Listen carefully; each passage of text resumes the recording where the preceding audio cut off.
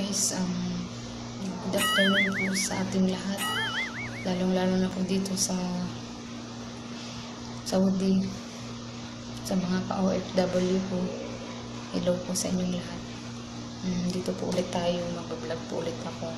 Medyo nahirapan po ako kasi first time ko po talaga mag-vlog.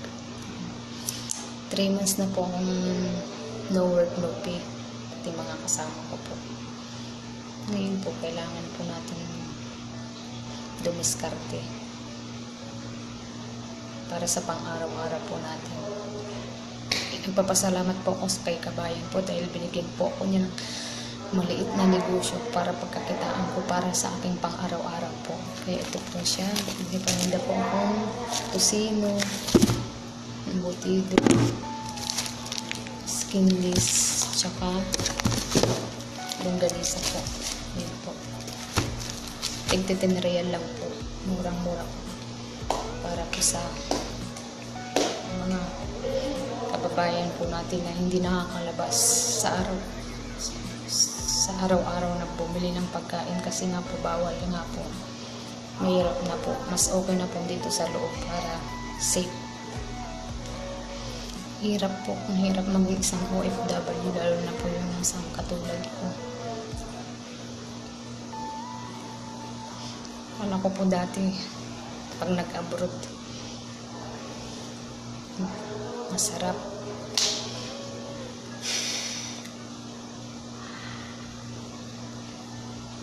Ipo pala. Lahat po, dadanasin mo po. Yan na yung pangungulila mo sa pamilya mo.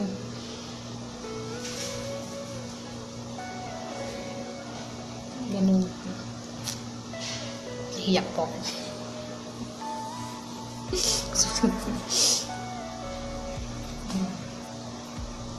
Pero kailangan po natin to maging malakas tayo, maging matatag para sa ating mga pamilya.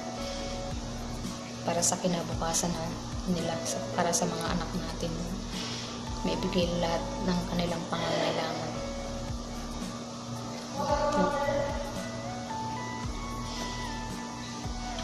Sa mga kababayan po natin dito, mga ka-OFW po, ganito po ang gawin nyo habang wala pa po kayong work. May kakilala kayong mga kababayan natin na may mga negosyo, pwede nyo po silang kontakin. Maki cooperate po kayo sa kanila, ganun po. Kung may negosyo po sila, ganun. Kuha kayo ng may maititinda nyo rin po para sa- may pang araw-araw din po kayo. Pambili ng pagkain nyo po. Sa ganung paraan po. Lagi po tayong mag-iingat po. Dahil sa COVID. Ganun po Lord. Ay ganun din po sa Pinas. Mas, mas okay po na sa loob lang po kayo ng bahay. Huwag po laging labas ng labas. Kasi baka mahawaan pa po kayo ng COVID. Mahirap na.